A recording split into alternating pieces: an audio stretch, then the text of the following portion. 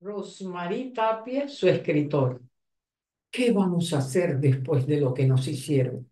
La trama nos sumerge en una crónica política que refleja los conflictos de las últimas décadas en América Latina, donde la corrupción, la impunidad y un sistema judicial fallido han dejado heridas profundas en la sociedad. A través de sus personajes ficticios, aunque no es coincidencia que nos recuerden figuras reales, nos muestra el drama de los inocentes que son condenados sin prueba, víctima de un sistema que no protege ni respeta la presunción de inocencia. La injusticia representa un golpe brutal a nuestra alma, despierta deseos de venganza.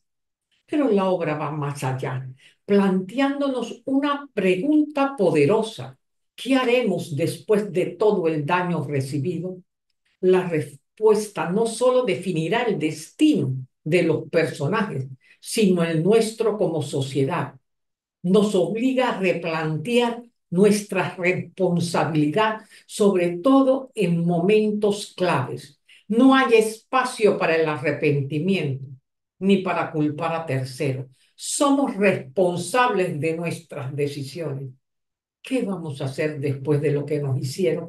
No solo es una novela de ficción, es un reflejo de nuestra realidad, de nuestros temores y frustraciones, pero también es un llamado a la acción, a construir un país más justo, democrático, donde los derechos de los ciudadanos sean respetados y la justicia prevalezca.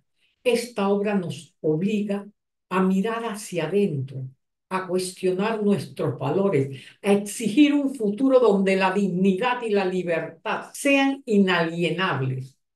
Esta novela está disponible en formato papel en la editorial Perso.